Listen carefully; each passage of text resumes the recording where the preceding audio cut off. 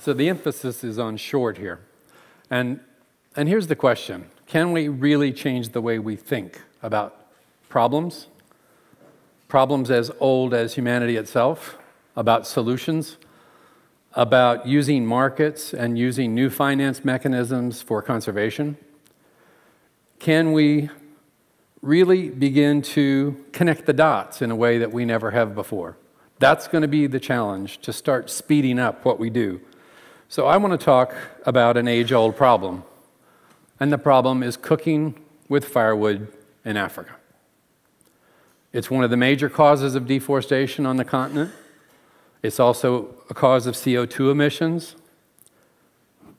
Some analysts think it's the cause of up to 50% of violence against women and children in rural areas when they go out to collect firewood. It's shortened lifespans. Most of the estimates are 8 to 10 years shorter because you're breathing in smoke when food is being cooked, especially women and children. It takes two to three hours a day to collect firewood. We just heard that collecting water takes people out of school, collecting firewood does too. And between the two of them, not a lot of time for school. So here's the question Is there a better way to cook? Can we use markets to help solve not just this problem of firewood, but these four problems? Because they're all related. I think we can use biogas digesters in Africa. A family biogas digester would create enough methane to actually provide all the energy a, a family needs to cook its food and one hour of lighting each night so that they can be more literate. Not a bad thing. What does it take? It takes manure.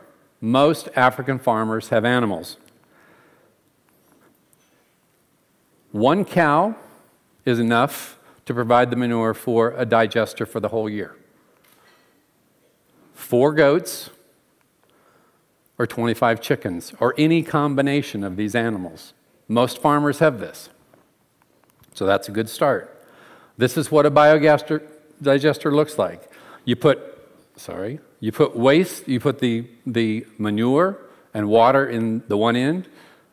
The methane rises to the top. You bleed it off with a plastic tube up to your house.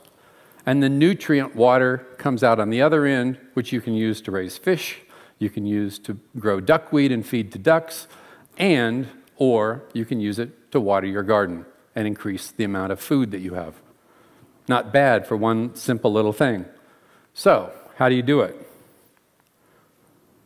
Earth University in Costa Rica took a model of a biogas digester from Taiwan, adapted it. They produced it in Costa Rica for about $175 a unit. Uh, it lasted for 10 years on average. $175 is a lot of money for an African farmer. That's about half of per capita income. So that's not an insignificant cost. Is there a way we can think of to finance this? Every family uses about three to four tons of firewood. Each animal, like a cow, produces about half a ton of methane emissions in a year. Combined, if you look at that from a CO2 equivalence point of view, we're talking about 16 tons per household per year. Can we bundle that over a million farmers, or 10 million farmers, or 100 million farmers?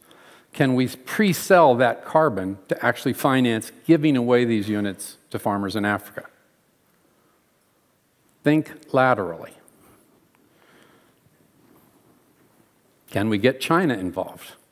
Cost $175 to make this unit in Costa Rica. Well, Costa Rica is not exactly the most efficient manufacturing place in the world. What about China? I estimate 75 to 100 bucks. That's a very conservative estimate. I think China could make it for 60. And that's retail. So it could probably, actual cost of production would be down to 40. 16 tons of carbon a year over 10 years, 160 tons. For a dollar a ton for carbon, this thing would be generating cash for farmers in addition to methane. Could China use this to offset their own CO2 emissions? the thermal power plants that they have been building? Could China use this to create a positive investment in Africa when some of their investments aren't considered so positive in some parts of Africa? So here are the opportunities. This is what we call a five for, not a two for, not a three for, but a five for. Reduce firewood collection, reduce rural violence, increase life expectancy, increase food production, and create a new asset. And here's the kicker increase literacy. What do we need going forward in, in the 21st century? Subsistence farmers collecting firewood or people who can read and write?